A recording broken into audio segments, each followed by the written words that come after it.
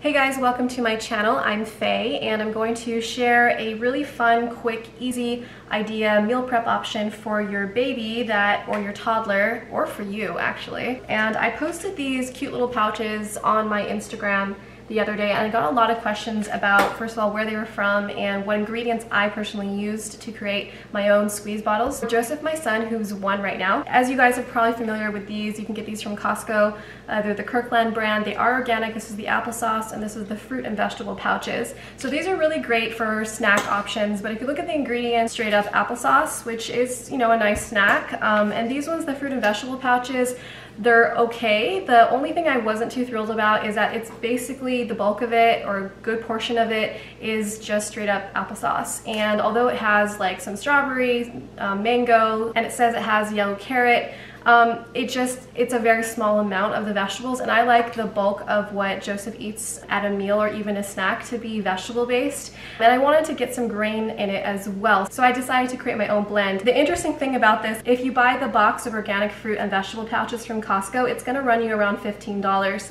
On Amazon, I also found the same thing. They're 24 pouches and it was actually $19, almost $20. The one that I put together, I did all the math of all the ingredients and this is all organic ingredients and it's much more nutrient dense than the one that I created. And it was somewhere around $5 total for all of the ingredients. Obviously you have to pay for these pouches separately. I got these off of Amazon. Yes, you're gonna have to pay for these, but these are reusable. You can use them over and over again. So these pouches are a little over three ounces and total the entire box is around 70 ounces of actual food product. So all of these ingredients I have are going to add up to about 70 ounces as well, but all of my ingredients cost somewhere around $5 and this is all organic and very nutrient dense ingredients.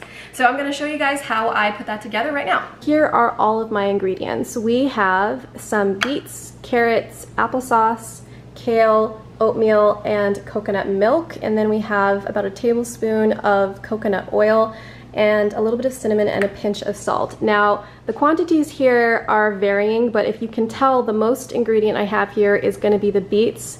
The second ingredient is gonna be the uh, oatmeal, and then we have the applesauce and then the beets and then the kale. And the reason why it was actually two and a half cups of kale but by the way all of our vegetables were steamed um, and it shrinks tremendously. This was actually half a bunch of kale. So it looks small now but this is quite a decent amount of kale. The cool thing about this is that you can get all organic. All of these vegetables and even the applesauce is organic. The oatmeal you can get organic as well and I priced it accordingly. And then your coconut oil is organic and your coconut milk is organic love nutrient density and for me it's about complementing the foods. So you have your fruits and your veggies, and then you have protein in the oatmeal, and then you have fats coming from the coconut oil. So total, this is you getting all of your macronutrients, your carbs, protein, and your fat. So I'm really excited about this recipe, and the best part is it actually tastes really good. So from here on, it's straightforward. Um, just a quick word about these pouches. These are actually five ounces, so they're two ounces larger than your regular small pouches that you can get from Costco, the apple and the vegetable and fruit ones. These are just three ounces. So this is more of like a meal versus these are more like a snack option. So let's go ahead and get started got your Vitamix and literally all you're gonna do is pop everything into this Vitamix. And just a little heads up about all the measurements for this recipe is in the bottom bar below. I measured everything out raw. The kale and the veggies and the oatmeal, all that was before it was cooked because obviously oatmeal expands and kale is really big and then shrinks down once you steam it. All the vegetables were steamed. I opt for steaming over boiling because the steaming preserves all of the nutrients inside of the cell walls of the plant versus when you boil a lot of the minerals minerals and vitamins just leak into the water and you lose those when you strain. So I highly recommend steaming your vegetables over boiling them. Here we go.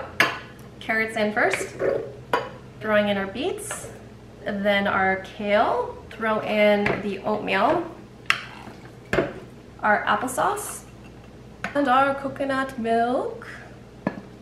And then I'm gonna throw in the coconut oil and the seasoning, which is the cinnamon and the salt, after we blend it down a little bit. Give that a nice seal.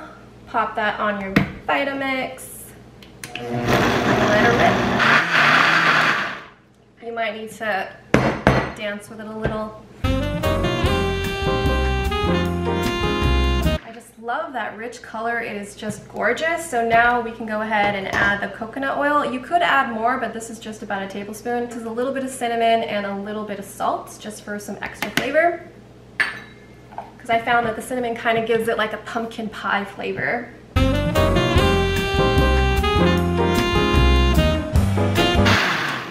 I just have to say, if you don't have a Vitamix, I'm truly sorry for you. I'm just kidding, seriously. But the Vitamix is probably one of my favorite inventions when it comes to trying to live a more plant-based vegan lifestyle. And if you're subscribed to this channel, you might actually win one. I love Vitamixes so much that I plan to gift one as a kind of launching to this channel type thing. So if you want one, go ahead and subscribe. So this turned out to be a quite a good amount. This is 64 ounces, almost 70, just shy of barely a cup. So this right here is a lot of nutrients. Now in the previous recipe, I did not include beets, but then I figured I need some more iron and I need some more phytochemicals and more antioxidants. What's gonna work really well and not overpower in flavor? Beets was the answer.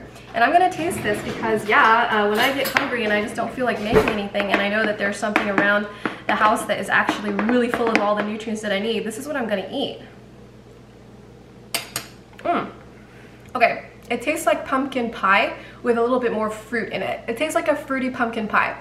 And you can obviously make it a lot sweeter if you add more applesauce, but I think this is enough because carrots anyways are pretty sweet. And because of the cinnamon, there's like two and a half cups of kale in this thing. So talk about loading veggies and it actually still being good. Now comes the fun part where we get to fill these babies up. Um, there's a little opening at the bottom and of course you need to seal uh, the tip. And then it's just a matter of pouring in your contents. There's a little line right over there where you're supposed to stop otherwise you won't be able to seal it but I found that you need to actually fill it up a little less than that otherwise it just still comes out so here we go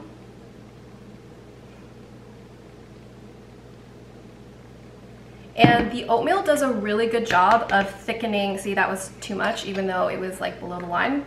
So what I do, I just scoop out with a spoon a little. And then you just seal this baby up. And then a little extra you can squeeze right out and then wash it. But then there you have a ready-made food packet. Like put the date and the information. And if you want to just put the ingredients on there so that you remember. And there we have a second one and this is ready to go. And the great thing about these little guys is that you can throw them in the freezer. Here are a couple that I have that are already frozen and all you have to do is pop these out the night before, put them in the fridge, um, or take them out at least an hour before you want to feed it to your child so that it's well thawed. You can't microwave these from what I understood, even though um, they seem to be a better type of plastic, but they don't they don't recommend that. They are BPA free and you can pop them in the, in the dishwasher. You can put them in your dishwasher, but I prefer just washing them with the brush that you use for your baby bottles anyway and just stick that in there and clean it out and then just put it on your like bottle rack or something and it dries really well. So here we have a bunch right here that are all nice and bottled up. I just put this whole thing in the fridge and um, Joseph can get through them within like three to four days, um, which is really great and he just enjoys it, he just sucks it all up. So I do have more than I needed because I already had some bottles that were previously made, some were frozen, some are in the fridge. For the extra, I just put them in these little cute mason jars. These are a little over seven ounces, which is fine because I can just feed this to him with a spoon. And anyways, he always kind of wants more every time he's done with one of those pouches. It begins to get a little stickier and thicker. The starches in the oatmeal have been released and they are absorbing water. So that's another thing that's kind of good though, because if it's a little watery, don't panic and don't add more milk.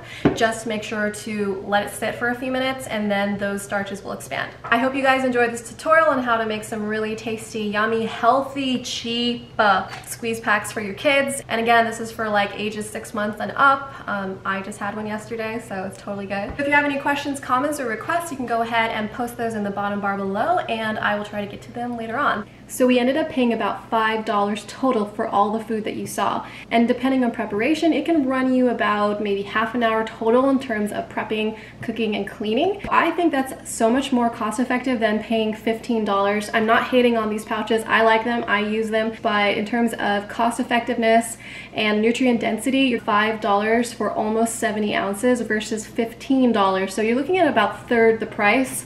And again, more nutrient density and it's cleaner ingredients and it's coming straight from your blender into your baby's tummy or your own tummy. So I hope you guys found this helpful and that this might encourage you to save a little bit more money and make your own baby food from home. Thanks for watching and I'll see you guys next time. Bye.